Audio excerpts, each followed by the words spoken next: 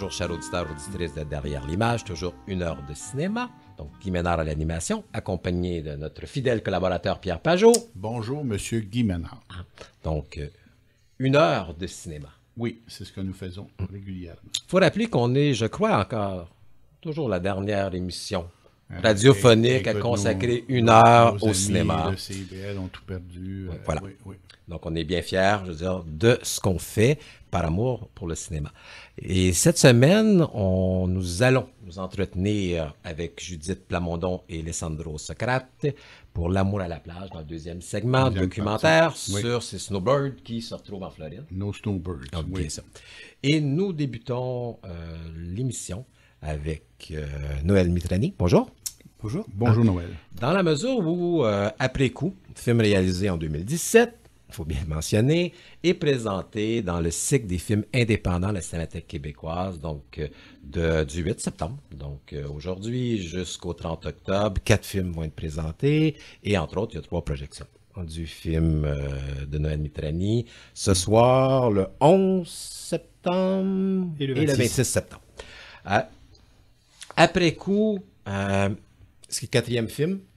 C'est mon quatrième film. Ouais. Je pense que c'est important de le mentionner. Oui, Hein? oui, oui, non, parce qu'il y a une suite, il y a une Non, non, suite, mais il y a il y a- vraiment une suite euh, Oui, hein. entre euh, les, sur les traces du Garodi euh, et, Militaire aussi. et le militaire. Eh, parce que je- Mais j'ai l'impression que dans celui-ci, je veux dire, vous allez un peu plus loin.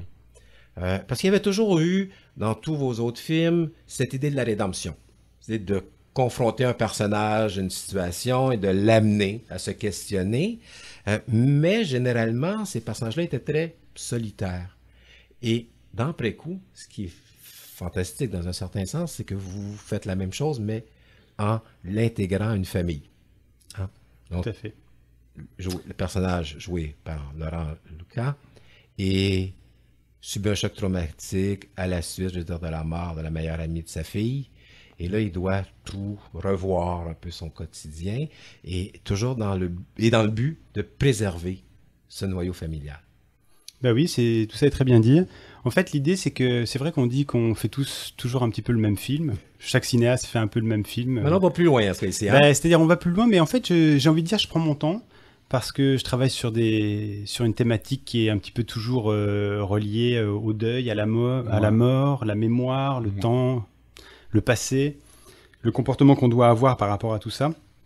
Et euh, c'est vrai que j'ai commencé avec euh, mon premier film sur la trace d'Igoridzi euh, avec un personnage en fait. C'était essentiellement le personnage joué par Laurent Lucas. Oui. Et puis avec les années, euh, j'ai pris confiance et je me sens capable aujourd'hui de, de faire jouer plusieurs personnages à la fois.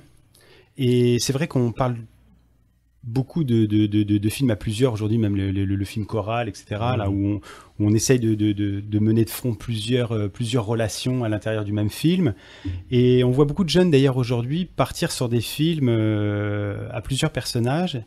Eh bien moi je me rends compte qu'il faut beaucoup d'expérience au cinéma pour être capable de manipuler plusieurs personnages. Et, et ben maintenant, je, je m'en sens capable. Non seulement je m'en sens capable, mais j'en ai vraiment envie. Mm. Et puis surtout, ce qui était très important, euh, c'était de parler de la famille. Je voulais que tout ça soit intégré dans une famille. Donc euh, j'ai fait jouer ma fille. Oui, Mais oui. autres, hein, Ben oui. qui est excellent. Merci. Très, très bonne. Et- mais ce qui est aussi pertinent de mentionner, c'est que votre famille, telle que vous la présentez, euh, est un peu différente des familles québécoises. J'ai quand même tendance à dire, c'est pas tout, c'est pas tous les films, mais dans plusieurs films québécois, la famille est dysfonctionnelle. Alors que dans ce cas ici, on a tout. Dans le fond, enfin, on crée un choc. Et, l'objectif, c'est de la réunir. et l'après-coup, il fait en sorte que votre film est un peu distinct d'une image populaire que les cinéastes ont de la famille québécoise. Ben, ben, je suis très content que vous ayez vu euh, cette question-là. Euh, c'est central pour moi. Et je trouve que justement, je déplore tous ces films qui ne font que montrer la famille sous l'angle du dysfonctionnel. Mhm. Alors c'est vrai qu'au cinéma, on est supposé raconter l'histoire Ouais. des trains qui n'arrivent pas à l'heure. Oui, mais, euh, mais là, ça, ça commence à faire beaucoup. Euh, je pense qu'on peut faire des films de qualité, des films avec des intrigues qui sont fortes, avec des sujets qui sont forts, sans forcément passer par le dysfonctionnel. Et ce qui m'intéressait justement, parce que de toute façon, bah, moi-même j'ai une famille et, et j'ai trois enfants, euh, je suis marié depuis 30 ans. euh, Et tout et- va bien. et oui, bah oui, d'une certaine façon, tout va bien. Ça veut pas C'est dire pas normal. bah oui, c'est-à-dire que ça veut pas dire qu'il n'y a pas des difficultés, parce qu'aujourd'hui on confond euh, avoir des difficultés avec dysfonctionnel, c'est pas la même chose. Euh, dysfonctionnel, ça veut dire qu'il y a un problème fondamental dans les relations, c'est-à-dire les gens n'y arrivent pas du tout. Et moi, ce qui m'intéressait, c'était de montrer que justement c'est l'amour, mais le vrai amour qui permet de nous sortir des difficultés. Et aujourd'hui, je pense que euh, on, regarde les difficultés en famille et on se dit, on prend ça uniquement comme si c'était un problème à résoudre, mais aucun problème ne peut se résoudre si on n'a pas la foi dans les choses. Pour résoudre des problèmes, il faut de l'amour. C'est l'huile qu'on met dans le moteur, sinon ça ne marche pas. Et je pense que c'est, j'ai mis ça au, au- au cœur de ce film. C'est, euh, c'est- une histoire d'amour en famille avec un problème psychologique euh, majeur à régler. Et, et cet amour, elle est portée bien sûr bon, par le personnage de Laurent Lucas, Marc, par sa fille, hein, euh, Marion, qui est jouée bien sûr par votre fille Natacha Mitrani, mais également par Florence, hein, donc jouée par Laurence Dauphiné.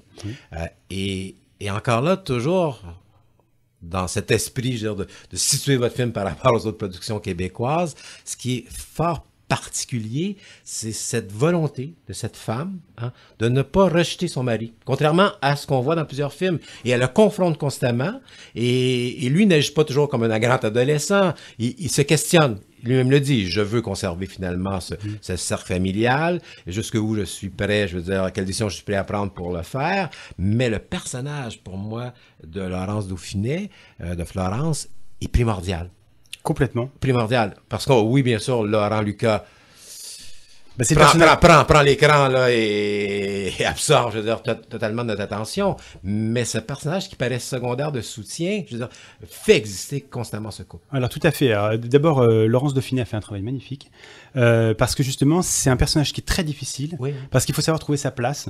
Et d'ailleurs, elle m'a dit, euh, quand on était dans l'étape préparatoire du film, elle me disait J'espère que mon personnage ne va pas être passif.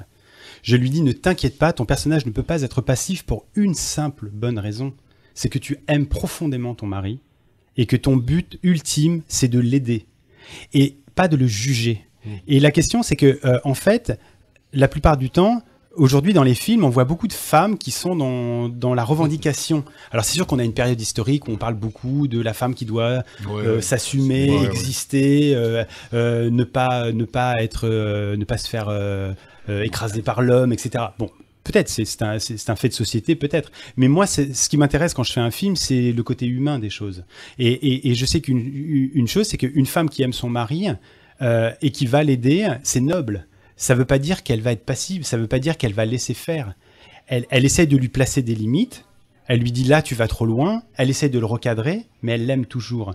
Et justement, elle a beaucoup de dignité. Elle, en fait, son, son, son personnage est très digne à Laurence. Elle, elle joue son personnage avec tellement de dignité qu'on a un, un respect infini pour son personnage et pour ce qu'elle fait, quoi.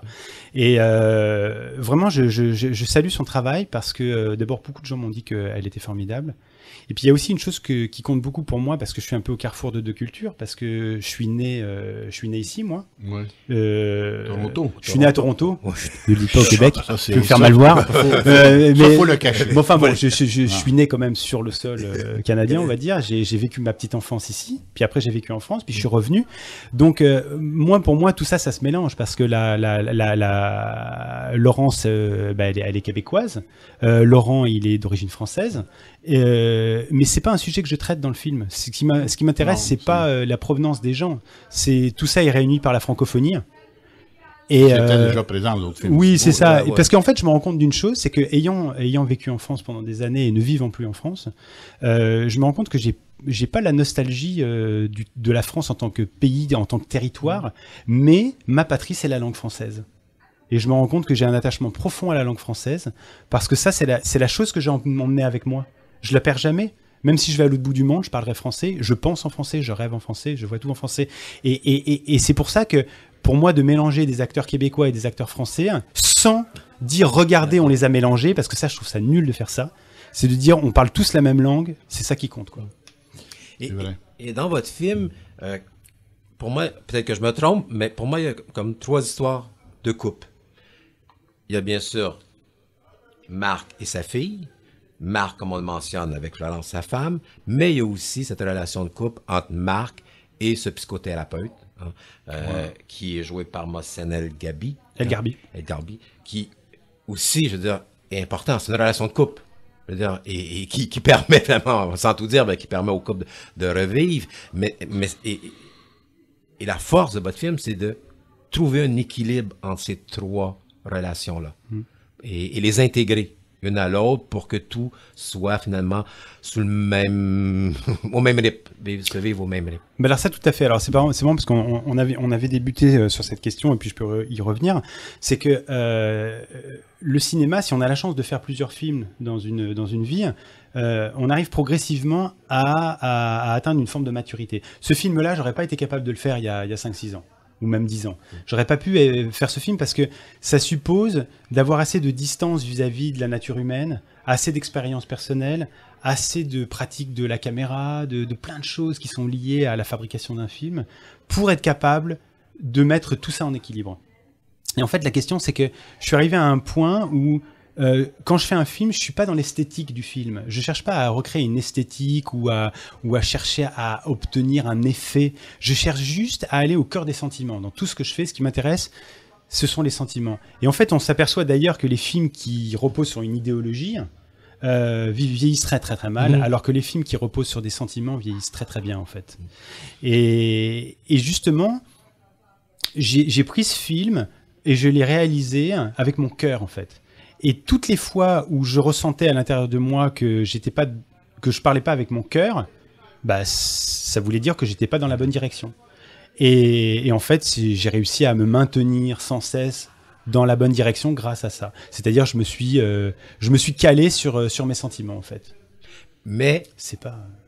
Mais, mais tout est accompagné de choix cinématographiques.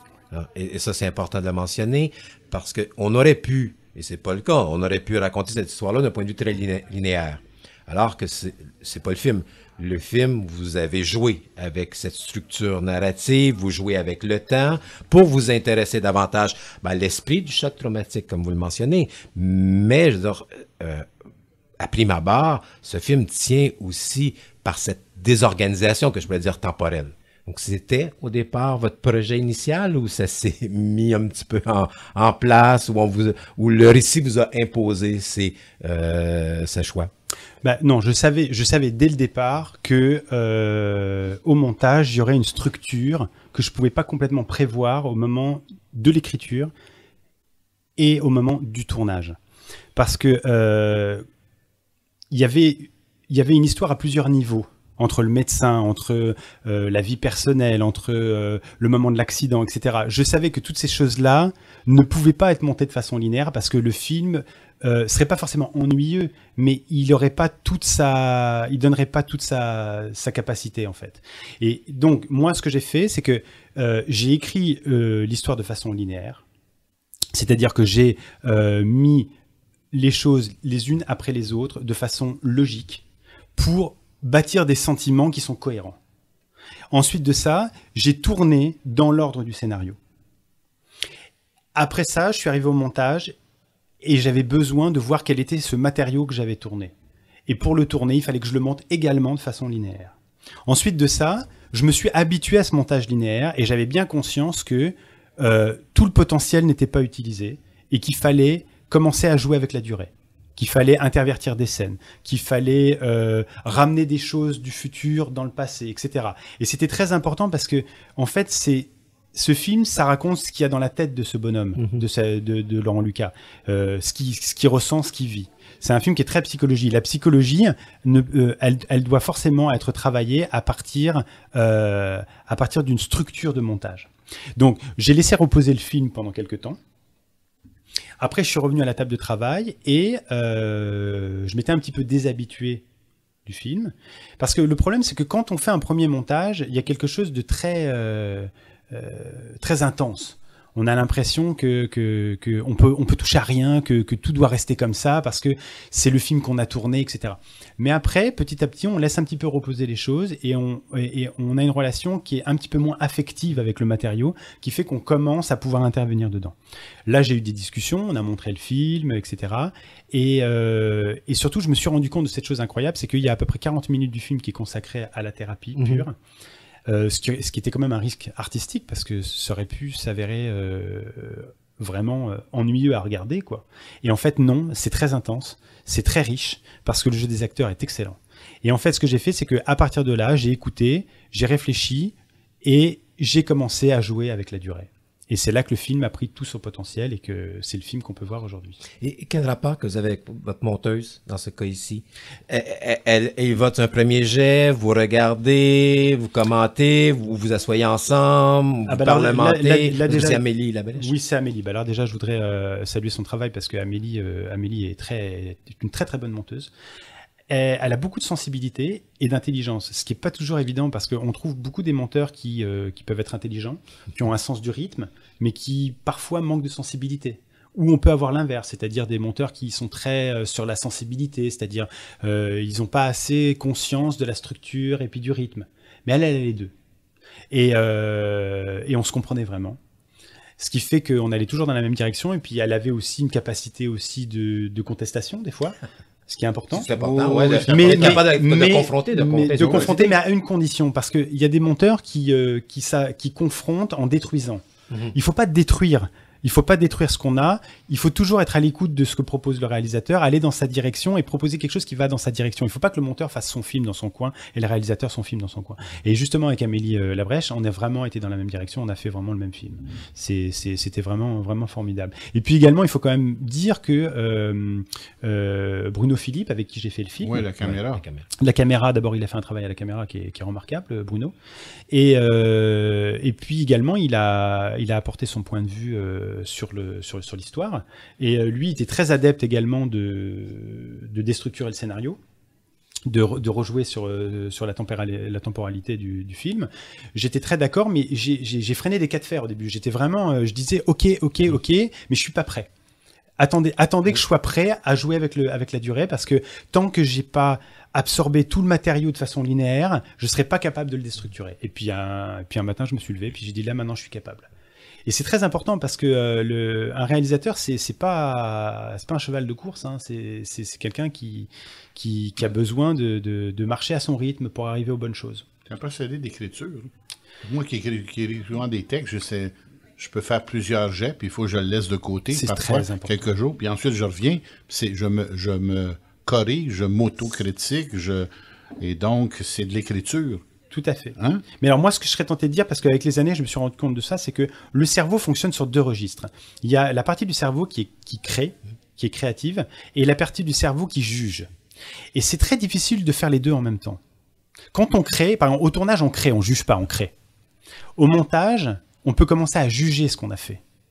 Et, et c'est pas les mêmes moments du cerveau. C'est pas, euh, euh, on peut pas faire ces deux choses-là en même temps. Et pour être capable de juger ce qu'on a fait, il faut du temps. Il faut se déshabituer de ce qu'on a créé pour être capable de le juger. Et, euh, et ça, il faut le comprendre parce que, parce que justement, quand on est un peu jeune euh, réalisateur, on a tendance à se précipiter, à vouloir tout mélanger à la fois, la création et le jugement, et, euh, on fait pas toujours du bon travail. Et, un autre choix cinématographique qui est fort important, vous le mentionnez tantôt, je veux dire, euh, en, mention- en mentionnant Bruno Philippe, qui est directeur photo, c'est que la majorité du film, peut-être je peux me tromper, mais j'ai l'impression qu'elle a été tournée en 85 150 mm. Tout à fait. Et parce qu'on a à peu près juste des plans rapprochés, et parfois encore plus rapprochés. Et, et- et ça aussi, c'est un choix Alors très ça, fort, important, parce que on, on mentionnait tantôt, on est toujours dans la tête de ce personnage-là, et, et vous avez, je veux dire, ajouté une dimension ici cinématographique en utilisant la caméra pour nous permettre de bien, je veux dire, comprendre les émotions Tout à fait. vécues par le Tout à fait. Bah, je suis les très content d'abord que, que vous en soyez aperçu parce que, euh, parce que c'est quand Ah, mais, fait. ouais, mais le cadre, le cadre Ouais. est tellement. Alors le, le cadre, alors euh, le cadre est presque étouffant en fait. hein. Ouais, ouais. Parce que l'idée, c'est de dire, euh, j'en ai parlé avec Bruno avant le tournage, je lui ai dit, écoute, voilà, c'est un film sur des personnes euh, qui sont dans une réalité psychologique. Euh, le décor est pas très important en fait. C'est-à-dire la géographie des lieux, c'est pas grave. On n'a pas besoin de travailler la géographie des lieux. C'est-à-dire en, gros, le langage classique, c'est de faire un plan large pour situer les personnages dans le décor. Après, on resserre. C'est un langage assez ennuyeux d'ailleurs. Donc, euh, mais ça, ça peut être éventuellement intéressant quand on quand on cherche à décrire un personnage dans un décor, par exemple. Euh, euh, un film où le personnage se confronte à la nature ou des choses mm. comme ça, ou à, l'immensité de la ville. Bon, mais là, c'est pas du tout ce qu'on recherche. Ce qu'on recherche, c'est de ne jamais quitter les personnages.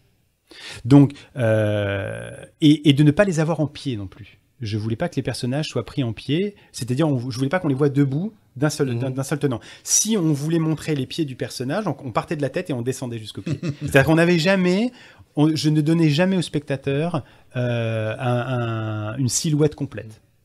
Et ça, c'est très important parce que le spectateur se rend peut-être pas compte euh, techniquement de ce qu'on lui inflige, mais il le vit. Et, progressivement, il rentre, il rentre dans les personnages, il rentre. En fait, je ne laisse pas le spectateur se, être détourné de son attention. Et, le danger, c'est que dans ce cas ici, Laurent Lucas aurait pu surjouer.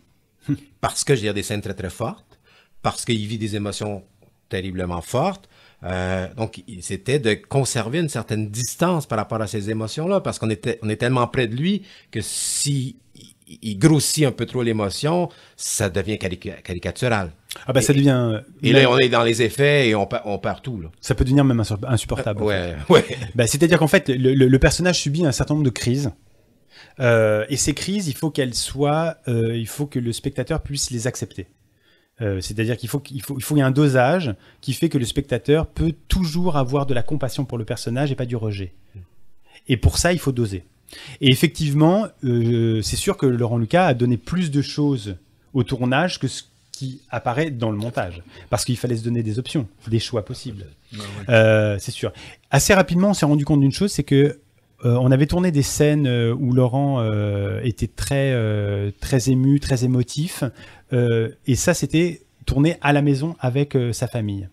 Et en fait, on s'est rendu compte qu'on n'a pas monté ces scènes-là parce qu'on a préféré avoir un personnage euh, plus sobre et plus, en retenue à la maison avec les siens et un personnage qui, s'ouvre à, son psychothérapeute et finalement qui craque nerveusement devant le médecin en fait. Et donc en fait on a bien fait cette distinction et on a réussi à obtenir le dosage nécessaire. Et, parlons un petit peu de psychothérapeute. J'ai attendu à la toute fin parce que souvent, c'est bizarrement, je sais pas pourquoi, ça doit être une des premières questions qu'on vous pose. Euh, c'est que c'est la méthode utilisée par ce psychothérapeute hein, qui est un peu connu, puis parfois, je veux dire, remise en question, les MDR, euh, et était un choix risqué, un choix voulu. Euh, J'essaie de poser une question qui, qui vous donne la possibilité, dire, d'expliquer pourquoi vous avez utilisé une méthode. On a changé les noms, mais qui existe avec, je veux dire, bon, ce que ça, ça l'inclut comme questionnement, hmm. mais pour vous, c'était important dans les centres des élections d'aller vers l'intensité émotionnelle, vers l'irrationalité, hmm. vers une certaine forme de mysticisme. Ah ben c'est sûr. Bon, de toute façon, c'est sûr que moi j'ai découvert un petit peu par hasard cette thérapie à travers un livre. Euh, je suis tombé un jour à, la bibliothèque sur un livre qui parlait de ça. Et ça m'a euh, vraiment, vraiment euh, révolutionné le cerveau, en fait. Mhm. D'un coup, ça m'a ouvert des, euh, des horizons intellectuels. Et je me suis mis pendant un an à me documenter sur la question du, cerveau.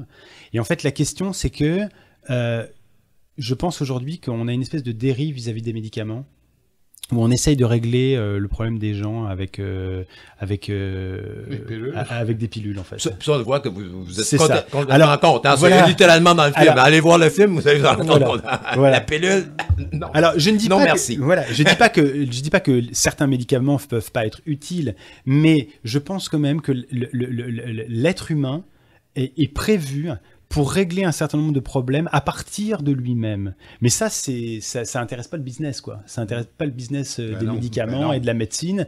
Et donc, euh, euh, c'est pas vraiment des thérapies qu'on met en avant.